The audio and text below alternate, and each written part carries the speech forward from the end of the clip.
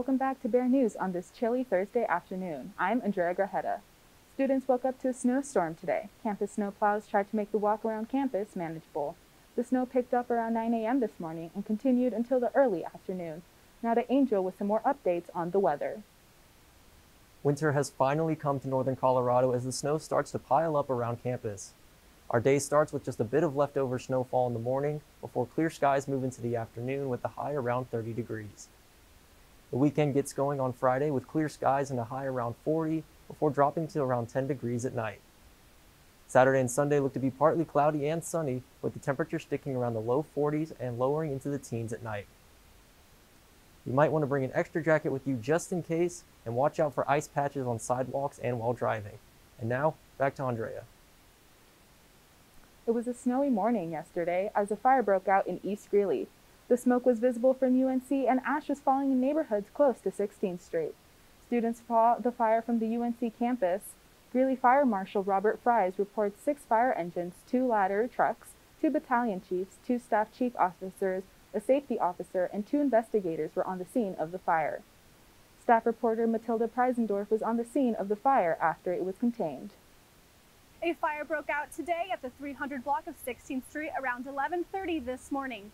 A woman located on the 18th Street of 3rd Avenue said she was in the shower when she heard a loud bang and rushed outside to see smoke coming from a building about a block away from her. Greeley Fire Department has confirmed that no one has been injured in the fire and it has been contained. The start of the fire has not yet been identified, but they will continue to investigate. I'm Matilda Preisendorf with Bear News. There's currently no update on the fire, but we will continue to keep you updated on any new information. UNC's interim provost, Lisa Vollendorf, met with reporter Kelsey O'Hara Tuesday to talk about her responsibilities here at UNC. Vollendorf has been working at UNC since July 1st of 2021. She has worked in higher education for over 26 years. And what I think is the most amazing aspect of the work that we do every day is we are the key drivers of social mobility in this country. Vollendorf has also been a professor of Spanish, a department chair of languages, Senate chair of Faculty Senate, Dean of Humanities and the Arts, provost, and worked in support of emergency and crisis management. She even worked with UNC President Andy Feinstein at San Jose State University when he was a provost and a senior vice president. One of the reasons Vollendorf believes UNC is unique is that we are a student first university. Oh, that was one of the reasons that I said yes to President Feinstein because I believe that all universities should be students first, but not all universities really have that as an express priority. With being a student first university, Vollendorf said that UNC moves more students to higher social classes than any other college in the state. To keep students a priority, Vollendorf has a goal for UNC to be considered a Hispanic serving institution. To meet the requirement, a college has to have 25% of their student popula population identify with being Latin. UNC's population is at 24%. With having student-first frameworks and working towards cultural goals for the students, Vollendorf said that she is pushing for more equity inside of the university. Every student at UNC has the same opportunity to succeed, regardless of where he or she or they come from and what their educational background is or was, and their race and ethnicity and their Pell eligibility and their first gen status. My belief is students first means you meet every student where they are and you give them all the exact same chance to be successful. Vollendorf has only been at the university during a global pandemic, which has changed the way she does her job. One of the biggest things she learned while working during the pandemic is how students gain in-person interactions. So part of what we're learning is that people need different kinds of support depending on how they're impacted.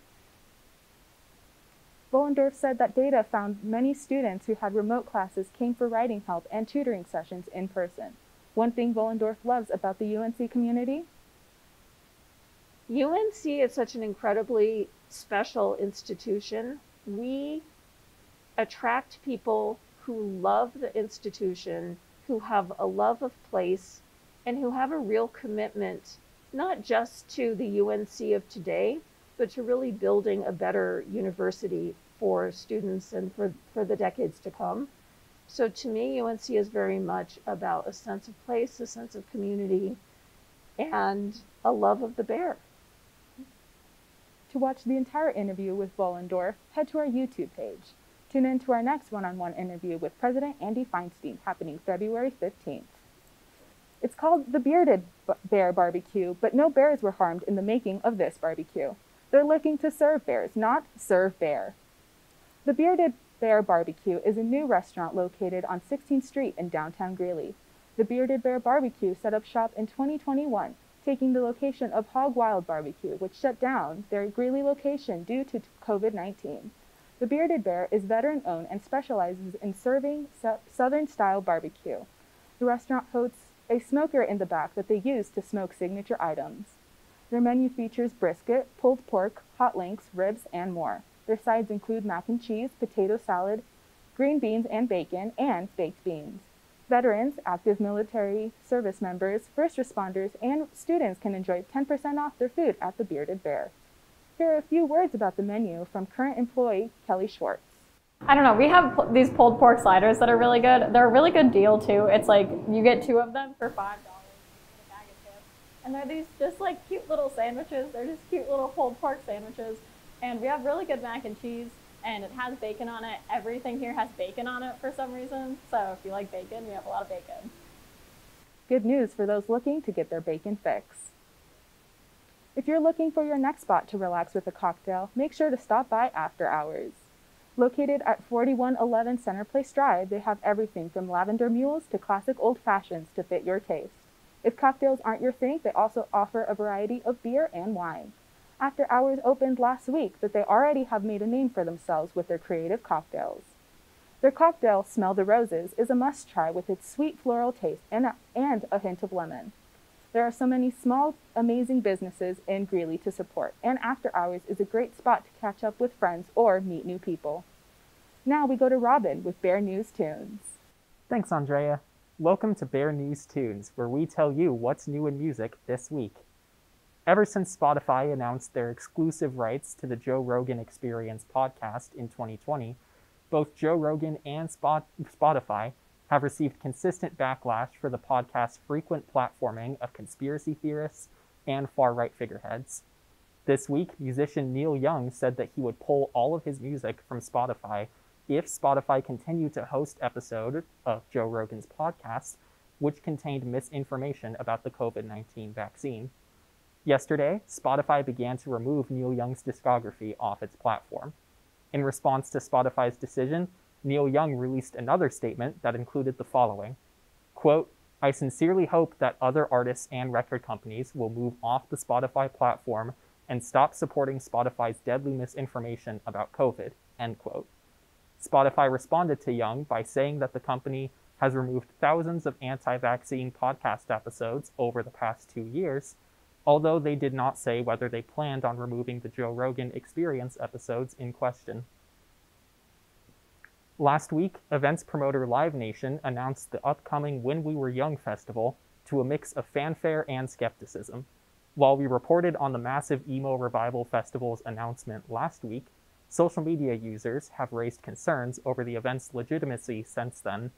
While, or- while event organizers initially only scheduled one date for the festival, they added two additional dates within the past week due to high demand and have left open the possibility of adding even more dates. Still, all three dates will feature almost the exact same bands performing on each day, with only minor lineup changes for the third date, and tickets only allow admittance to one day each. Other social media users have pointed out that Live Nation was the same company that promoted Travis Scott's 2021 Astroworld Festival, which led to 10 deaths in a crowd crush. In a, in a statement released to Vice magazine, Live Nation responded to these concerns by clarifying that the company is working closely with local authorities in Las Vegas to ensure the safety of staff and attendants. In addition to safety concerns, metal band Bring Me the Horizon's lead singer Oli Sykes faces accusations of domestic abuse stemming from a statement from his ex wife released in 2016, causing others to criticize event organizers for including the band in the festival. Miami authorities arrested Rae Sremmurd member Slim Jimmy on Tuesday for an alleged uh, uh, physical assault on his girlfriend. However, in an Instagram post, Slim Jimmy's girlfriend denies ever claiming that the assault occurred. She says that police arrived to the couple's apartment because they were having a quote loud argument and that she told them several times that nobody was harmed. Yesterday, TMZ reported that the rapper's case was heard in court and that he is now released on cash bond while awaiting a verdict. Last Thursday, hard rock singer Meat Loaf died at age 74 due to complications from COVID 19. The singer was openly critical of social distancing regulations and mask mandates, stating this past August that, quote, if I die, I die, but I'm not going to be controlled. Several celebrities paid tribute to the late musician, including pop singer Cher and former President Donald Trump. And finally, each week on Bear News Tunes, we want to give an overview of what new music came out in the past week, then spotlight our pick for the best song of the week. New songs were released by Charlie Puth, 2 Chainz, Denzel Curry, and others. For the most part, there weren't too many surprises. Charlie Puth's Light Switch is a clean and inoffensive dance pop song, albeit with some awkward lyrics, as is typical for a Charlie Puth song.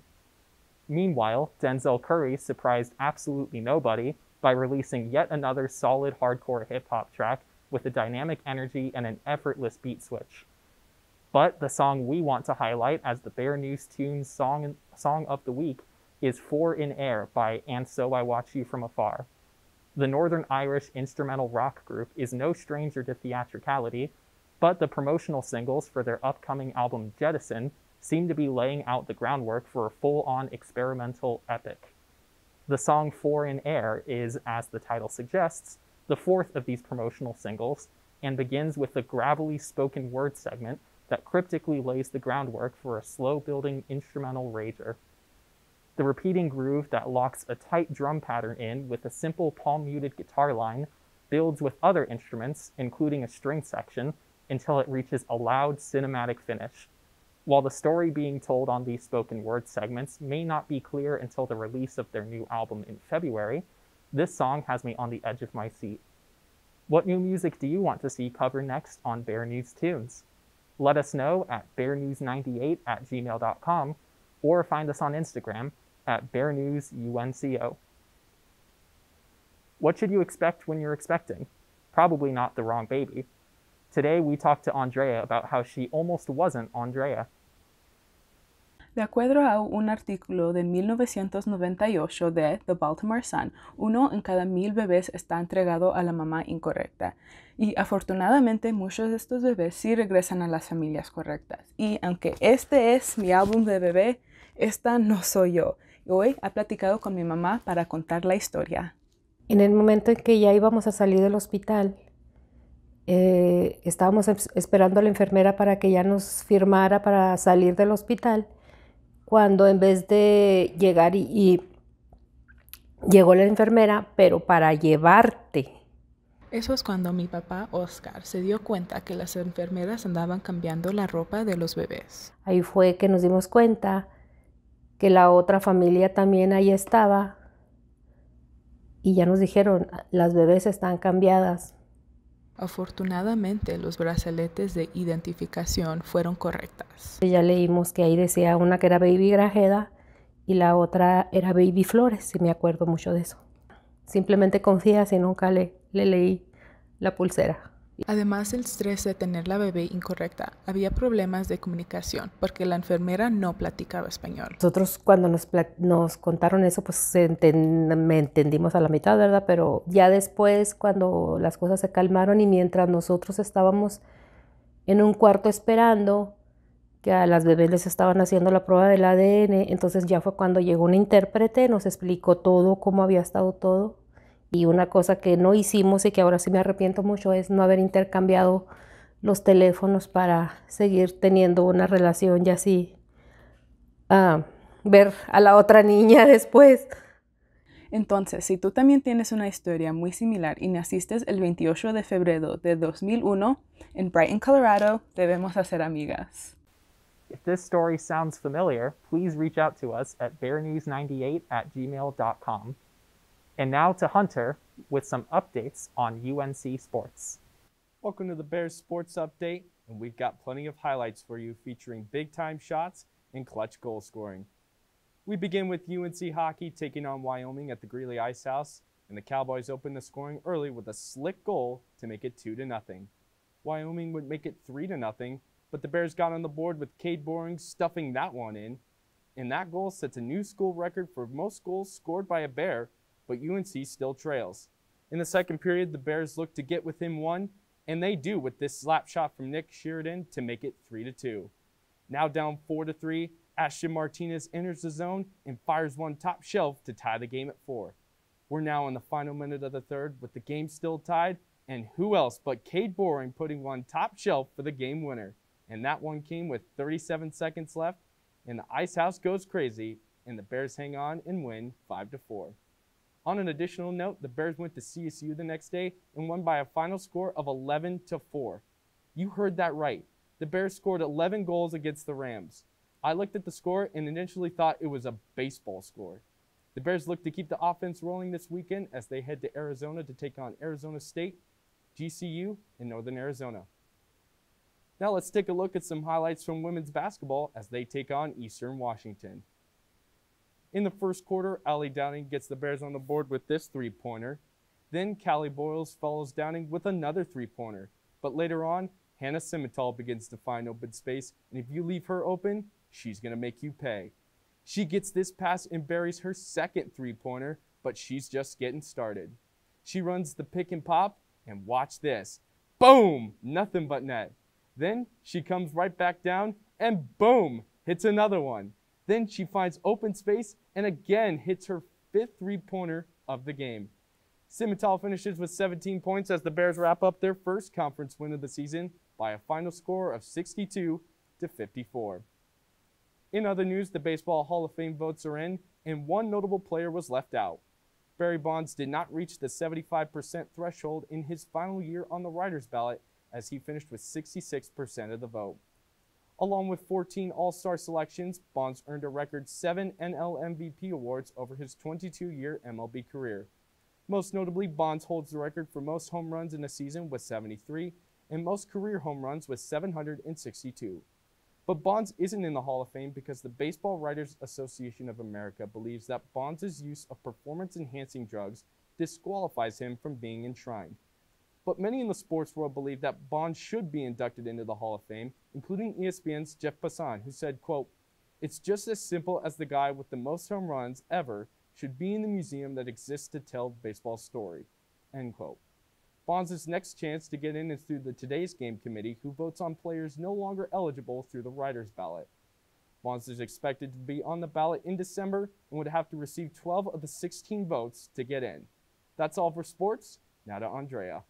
Thank you, Hunter. This week's featured student is Miranda Wagner. Wagner grew up in Buffalo, Wyoming. Wagner transferred from Northern Wyoming Community College in 2019. After moving to Greeley, she started working at Westridge Animal Hospital in West Greeley. Wagner is graduating with a major in criminal justice and a minor in psychology. Her favorite class is crime scene investigation, and after graduating, Wagner plans to go into victims advocacy. In her free time, when she isn't busy with school, she loves to read. Wagner's favorite author is Stephen King, and her favorite book by King is The Girl Who Loved the Garden. If you know someone who you'd like to nominate for UNC's Featured Student of the Week, please email us at the email on screen. The Humane Society of Weld County raised over $10,000, all thanks to the Betty White Challenge. The death of Betty White happened around two weeks shy of her 100th birthday. Fans and the public were looking for a way to memorialize her. Throughout her life, White was an animal, animal advocate and lover. According to People magazine, White worked with the Los Angeles Zoo since 1966. Her prolonged work and efforts for and at the zoo led to her being named an honorary zookeeper by the Los Angeles chapter of the American Association of Zookeepers. Because of her love for animals, users on Twitter started the hashtag Betty White Challenge.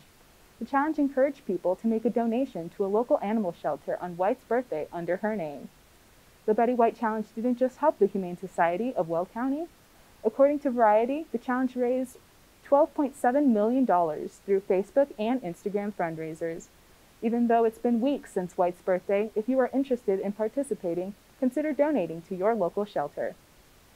And that has been just some of the news happening around Greeley.